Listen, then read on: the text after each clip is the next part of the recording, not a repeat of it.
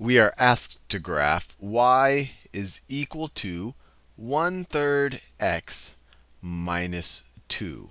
Now, whenever you see an equation in this form, this is called slope-intercept form. And the general way of writing it is y is equal to mx plus b, where m is the slope, and here in this case, m is equal to 1 third. So let me write that down. m is equal to 1 third.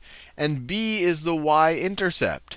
So in this case, b is equal to negative 2 b is equal to negative 2. And you know that b is the y-intercept because we know that the y-intercept occurs when x is equal to 0. So if x is equal to 0 in either of these situations, this term just becomes 0, and y will be equal to b. So that's what we mean by b is the y-intercept.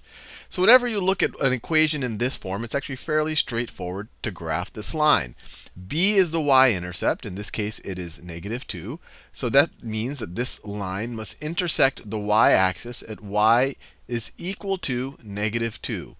So it's this point right here. Negative 1, negative 2. This is the point 0, negative 2.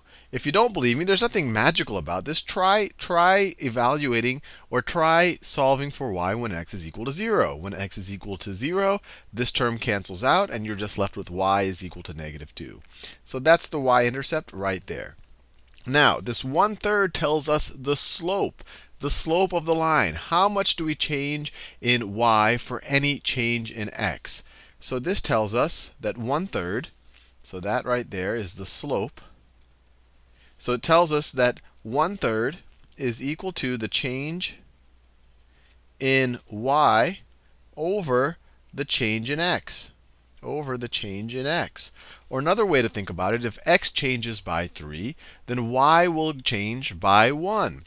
So let me graph that. If x changes, so we know that this point is on the graph. That's the y-intercept. The slope tells us that if x changes by 3, so let me go 3 to the right, 1, 2, 3, that y will change by 1. y will change by 1. So this must also be a point on the graph. And we could keep doing that. If x changes by 3, y changes by 1. If x goes down by 3, if x goes down by 3, y will go down by 1. If x goes down by 6, y will go down by 2. It's that same ratio. So 1, 2, 3, 4, 5, 6, 1, 2. And you can see all of these points are on the line. And the line is the graph of this equation up here. So let me graph it. Let me graph it. So it'll look something like, it will look something like, something like that. And you're done.